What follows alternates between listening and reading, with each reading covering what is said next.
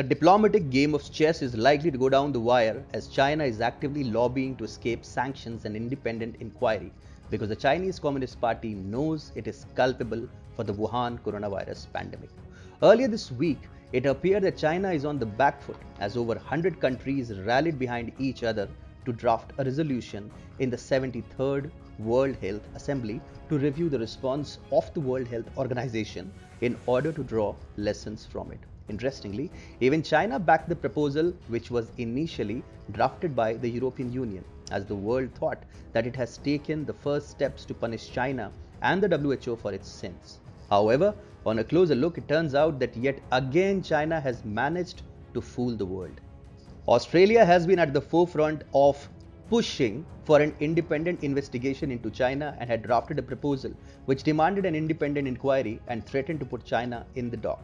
China lobbied with the European Union to fool the world and embarrass Australia as the latter's proposal was silently junked and a watered down proposal was drafted by the European Union which only called for a review of the WHO's response in order to draw lessons from the response, much to China's delight.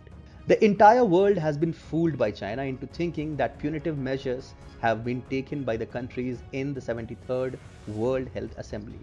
The seven page proposal does stress on investigating the origins of the virus but desists from directly mentioning China or Wuhan. Chinese Communist Party's mouthpiece Global Times could not contain its happiness as it claimed that Australia got a slap on the face and openly admitted that EU's resolution was sponsored by China and the global community has welcomed it. Chinese Foreign Ministry spokesperson Zhao Lijian said it is a totally different thing from the so-called independent inquiry pushed by the Australian side. Yet again, China has been successful in putting out its narrative and needless to say, the proposal which has been signed by over 100 countries is nothing but a hogwash as China will never sponsor a proposal which can threaten its narrative. It is ironical that the European Union, which has been arguably worst hit by the Wuhan virus pandemic, is supporting China as it cowers down under Chinese pressure. As if to rub salt in the wounds, the European Union pledged to back the WHO after US President Donald Trump threatened to pull out the body if the WHO is unsuccessful in proving that it is not under Chinese influence. European Foreign Affairs spokeswoman Virginia Battu Henriksson said, This is the time for solidarity, not the time for finger pointing or for undermining multilateral cooperation. The European Union backs the WHO in its efforts to contain and mitigate the COVID 19 outbreak and has already provided additional funding to support these efforts. In yet another example, which portrays how the EU has been compromised into serving the interests of China, it recently watered down a report about Beijing's state backed disinformation campaign, fearing that the dragon would retaliate by withholding medical supplies. The reference to China's disinformation campaign essentially means China's massive propaganda war to portray itself as the savior of the world, spreading lies like the US Army spread the novel coronavirus or scapegoating Italy as a part of COVID 19 origin propaganda, or an unnamed Chinese diplomat meddling in the internal affairs of France in an ugly, undiplomatic manner. But this particular section was removed by the European Union. Why? Because Beijing strong armed it and warned the EU officials of unspecified repercussions. And then the European Union gave in to the threats to appease the CCP.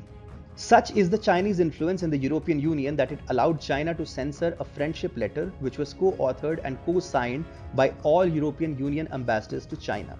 The letter mentioned the outbreak of the coronavirus in China and its subsequent spread to the rest of the world over the past three months has meant that our pre existing plans have been temporarily sidetracked. But Beijing's state run media didn't like it, and China Daily published the letter removing this paragraph about the coronavirus pandemic, thereby quoting the European Union selectively. But the EU didn't protest and allowed China to impose its will by censoring parts of the letter.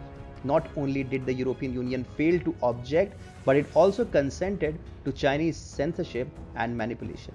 Battu Henriksson said EU diplomats decided to proceed with the publication with considerable reluctance. In retrospect, it seems that the United Kingdom's decision to leave the European Union was the correct one. While there are obvious economic and trade benefits by being a part of the EU, but if the institution cannot protect the lives of its citizens and directly panders to the whims and fancies of China, despite the fact that the latter's actions have created havoc in Europe, the institution has lost all credibility and no longer serves the interests of Europe.